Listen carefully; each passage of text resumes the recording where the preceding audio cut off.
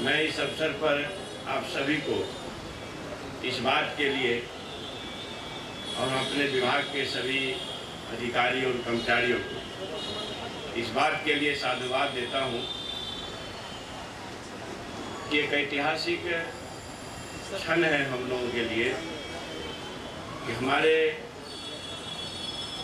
जो रिसर्च के से जुड़े हुए छात्र हैं, शिक्षक हैं और समाज के बुद्धिजीवी उनके सामने कोई कठिनाई न हो, भाषाई क्षेत्र में उर्दू से लेकर के हिंदी तमाम चीज़ की किताबें यहाँ रहेंगी।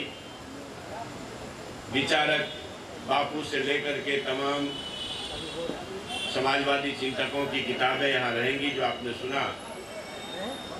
और आप इस पुस्तकालय में अध्ययन कर ऐतिहासिक पुस्तकों का। इस देश में अमन बहाल हो, नफरत जाए, नफरत भागे, मोहब्बत आए, इसमें सभी लोग तन्मयता से लगेंगे। ये मैं आशा करता हूँ। आप सभी लोग जानते हैं, बिहार का अपने आप में जो विरासत है,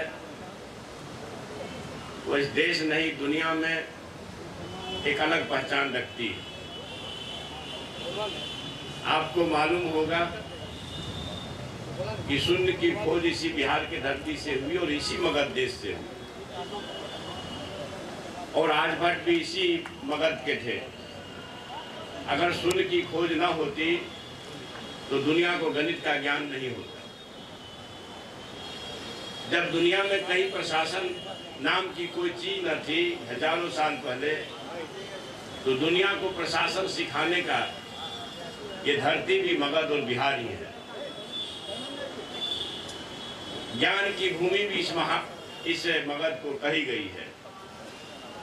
दुनिया के देशों में जब चंद किताबों का अध्ययन होता था, ज़्यादातर देशों में धार्मिक किताबों का भी अध्ययन होता था।